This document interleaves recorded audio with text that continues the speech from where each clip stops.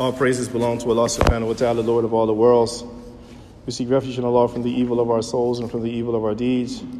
Whomever Allah subhanahu wa ta'ala guides, no one can lead him astray. And whoever leads astray, there's no one that can guide him.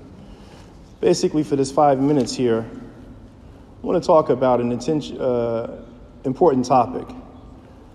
I have here a research that I've compiled about making up the intentionally missed prayers. And this is between Sheikh al Islam ibn Taymiyyah. I took his view, and I took the position of a Sheikh al Amir al San'ani.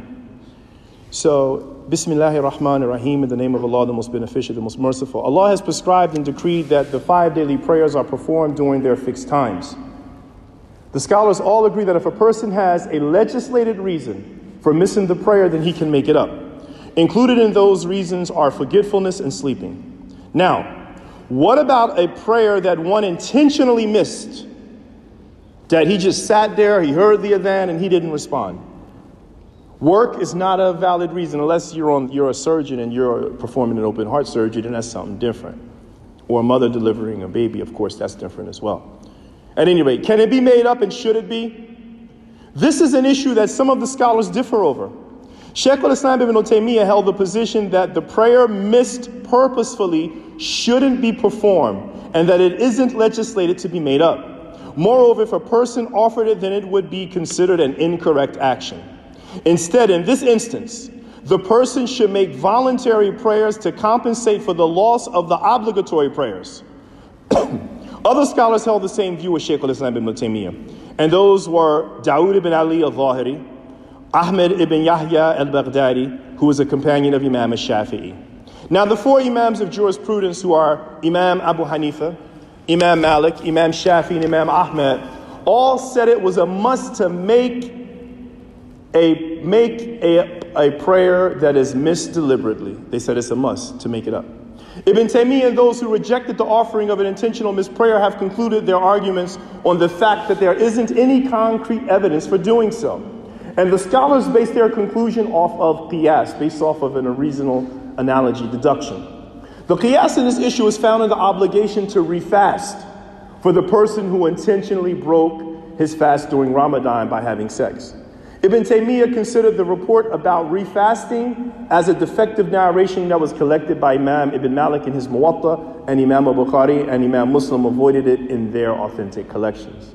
For example, a Bedouin came to the Messenger of Allah sallallahu alaihi wasallam, beating his breast and tearing his hair and saying, I am destroyed. The Messenger of Allah, may Allah sallallahu peace and blessings be upon him, said, Why is that? And he said, I had intercourse with my wife while fasting in Ramadan. The Messenger of Allah sallallahu alaihi wasallam asked him, Are you able to free a slave? The man said, No. Then he asked him, Are you able to give away a camel? The man replied, No. He said, Sit down. And someone brought a large basket of dates to the Messenger of Allah وسلم, and he said to the man, Take this and give it away as sadaqah. The man said, There is no one needier than me. The Messenger of Allah وسلم, said, Eat them and fast one day for the day when you had intercourse.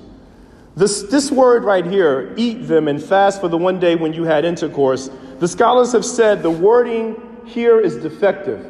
Reason being, this wording was reported by a narrator on Imam az-Zuhri, and he went against those who were more reliable than him. See, we see we have scholars who reject hadith when a narrator narrates on a person independently or solitarily. However, we have other narrators, even maybe in number, maybe we have three who narrated on another narrator, and we would take that. Nonetheless, they went against him. So Imam Ad-Daraqutni viewed the wording to refast as being weak by saying the narrator contradicted those who were more reliable than him in accuracy and in number. Not to mention that the number he opposed totaled 40 narrators, and not one of them ever mentioned in this hadith eat them and fast one day for the day when you had intercourse. The second argument in defense of those who allow the intentional missed prayer to be done using the fact that a person who forgets to pray must offer it. So therefore, it's all the more right that a person who neglects the prayer deliberately make it up. Ibn Hazm and Ibn Taymiyyah both concluded that this is a weak analogy as well. The hadith that orders the missed prayer to be done is where the Prophet ﷺ said, He who forgets the prayer or he slept And its expiation is only that he should observe it when he remembers it. This is where the topic gets interesting. As a Amir Ani refuted the scholars who rejected this was a sound analogy. He broke his argument down into several points for the possibility to offer the missed prayer.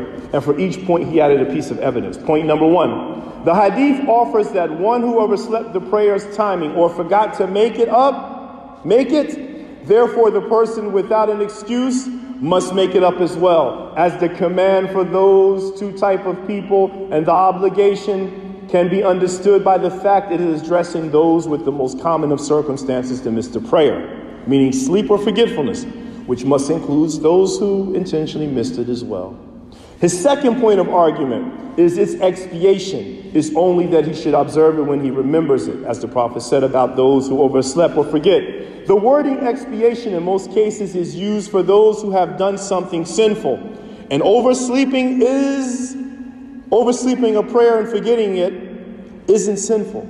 Hence, the one who didn't pray intentionally must pray as offering is only an expiation. Okay? The third point, Abu Qatada said, they told the Prophet that they had no that they had slept and missed the prayer. He said there is no negligence when one sleeps. Regular negligence is as one awake.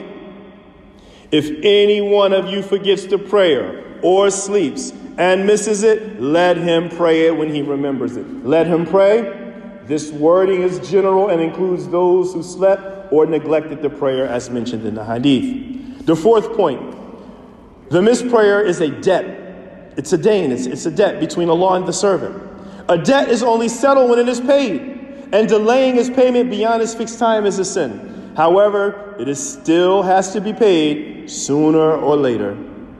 That's a good point. Point number five a man said, O Messenger of Allah, my father has died, and he did not perform Hajj. Shall I perform Hajj on his behalf? He وسلم, said, Do you think that if your father owed a debt, you would pay it off? The man said, Yes. He said, The debt owed to Allah is more deserving of being paid off.